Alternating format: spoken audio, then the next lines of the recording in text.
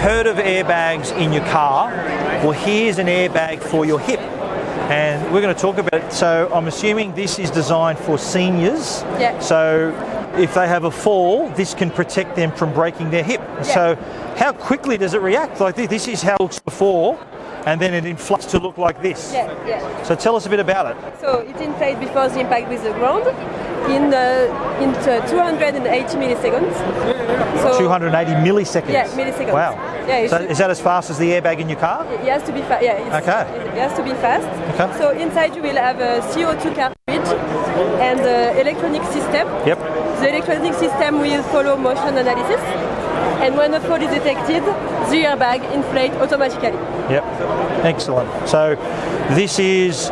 So is, is this any other use for any other people, or is it designed for seniors, isn't it? So Mostly for seniors. Okay. So and, and so this they wear this at all times. Yeah. It's got the the inflatable The- charger yeah. in there, and so And, uh, if it detects so if it detects them falling, Yeah, it inflates in 0.28 milliseconds. Yeah, so there are sensors in here as well to detect the movement. exactly. Yeah. Okay. Well, that's a really interesting product. And so. it's, uh, it's reusable. Important. Okay, so once, once you can reuse it, so you just put a new charger in there. You change the cartridge, the- and okay. after you just have to roll back the airbag inside the pocket, and uh, you can reuse it. Fantastic. So, airbag for your hips, a must for any senior.